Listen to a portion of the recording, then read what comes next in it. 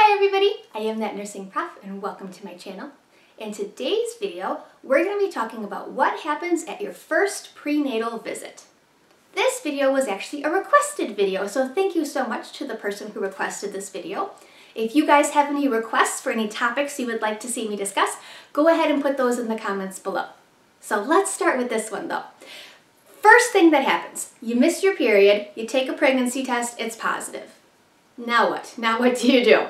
Now you want to call your doctor. If you've already been established with a doctor, you would call them, or if you haven't had a doctor yet, you would find a doctor that's like, you know, in your insurance and all that stuff and see who's appropriate. Different types of doctors you're going to see. Family health practitioner, so this is somebody that can take care of you, mom, and it can also take care of baby. An OBGYN is somebody who specializes in obstetrics and gynecology. So they can do vaginal deliveries, but they can also do C-sections if you need to have a C-section. A nurse midwife usually works under a doctor, usually an OBGYN. They can deliver your babies in the hospital. These are advanced practice RNs, so they have, you know, their bachelor's degree and then they have two more years of school to be a midwife. They cannot do C-sections though. And then if you're not going to do the family practice route, you want to get a doctor specifically for the baby, that's going to be a pediatrician. So things to think about if you don't already have these things established, think about what do you want to do, what do you expect, and who do you want to see. So once we've done all that, we've chosen our doctors and we know exactly what we want to do, now let's get into the first visit. So the major objectives for this first visit the first thing we need to do is confirm or rule out the pregnancy. And if you watched my video on the presumptive, probable, and positive signs of pregnancy, then you already know a positive pregnancy test doesn't necessarily mean that you are pregnant, right? So that's actually the first thing we need to do is either confirm or rule out the pregnancy. If we confirm it and we say, yes, you are pregnant, then the next thing we need to do is check for any risk factors. So this can include comorbidities like diabetes, high blood pressure, stuff like that. It also can include social factors like smoking cigarettes, drugs, alcohol, that sort of thing. Next, we'll determine the due date. And if you don't know how to determine the due date, I already have a video on that. It's real short. I'll link it in the description below. And then lots of patient education. Our goal here with every pregnant woman is that she will have a healthy pregnancy, a healthy delivery, and give birth to a healthy baby, right? That's what we want for all women. And a good way to make sure that happens is good patient education. Some things to know about your first visit. It's going to be the longest visit, roughly one to two hours. And that's because we need to get a lot of information from you. We're going to obtain baseline data. Things we might ask include age of menarche, which is how old were you the first time you got your period. Obstetrical history, which is your GTPAL, so how many times have you been pregnant, how many deliveries have you had, if any. And if you're unfamiliar with how to figure this out, I do have a video on that, which I'll put below as well. Any medical history or surgical history, your family history and social history. Social history is like we talked about over here, drugs, alcohol, cigarettes, that kind of stuff. Of course, we're going to do a really good head to toe because this is how we're going to get our baseline. We're going to get a weight and vitals. We'll probably do a vaginal exam, so with the speculum.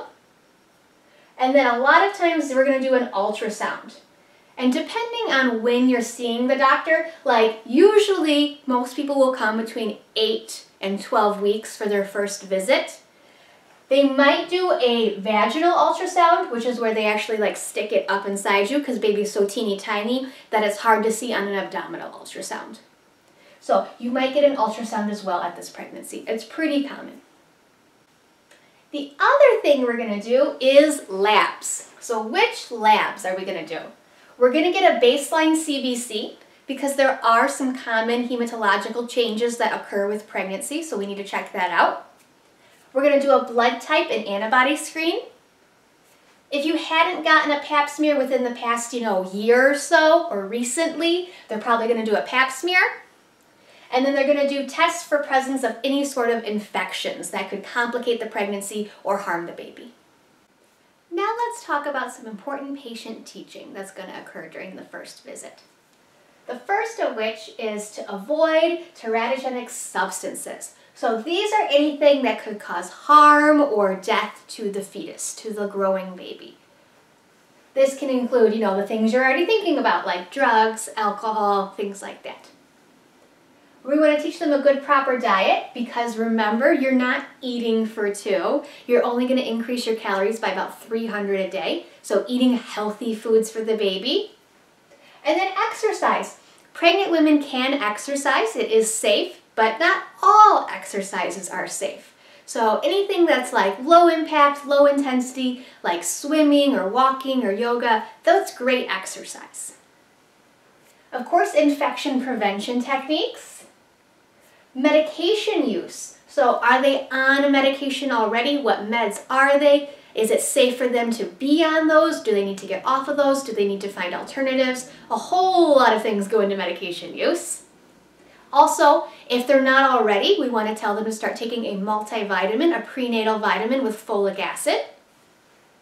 And then when to call the doctor. So what's an emergency, right? So if you think you're in labor, if you're bleeding, if you're having uncontrolled pain, if you think your water broke, that kind of stuff. And then I just wanted to add at the bottom here what risk factors we're looking for. So the first one, we don't normally talk about this stuff, but a negative attitude about the pregnancy. So they're there and they're just not really happy to be pregnant, okay? And that could take a variety of um, ranges there, but overall a negative attitude about the pregnancy. If they're not happy about it, they're upset about it, they might not do the things that they need to do to stay healthy, like the proper diet and nutrition and taking the medications correctly and all that kind of stuff. So we need to assess their attitude. Getting late prenatal care. So they're not coming in in that 10 to 12 weeks for their first visit. They're not coming in until, you know, 24 weeks to get their first visit. That's a big, big risk factor. Here in the US, our biggest risk factor when it comes to preterm delivery, baby morbidity and mortality, mom morbidity and mortality is lack of prenatal care. So either late prenatal care or no prenatal care at all. Abuse, we want to screen for abuse. This could be substance abuse, but it could also be physical abuse like domestic violence, intimate partner violence. So we want to screen for that. Their age could be a risk factor. So the very, very young and the older moms, these are risk factors that could complicate their pregnancy further on.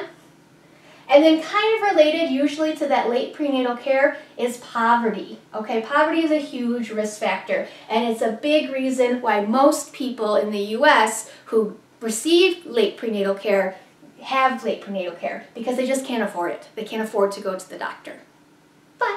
There are tons and tons of free resources that we as the nurse can tell them about and you know refer them to so that they can get the best possible care for them and their baby. So that's just something extra I wanted to add when it came to the teaching because these are some risk factors we need to look out for with all of these women and this is the first time we're going to see them so we're probably not going to know much about them so now is the time to screen them for these sorts of things. So that was my video on your first prenatal visit. I hope you found this helpful. Don't forget to like and subscribe. If you have any questions or comments, please let me know. And if not, I'll see you on the next one.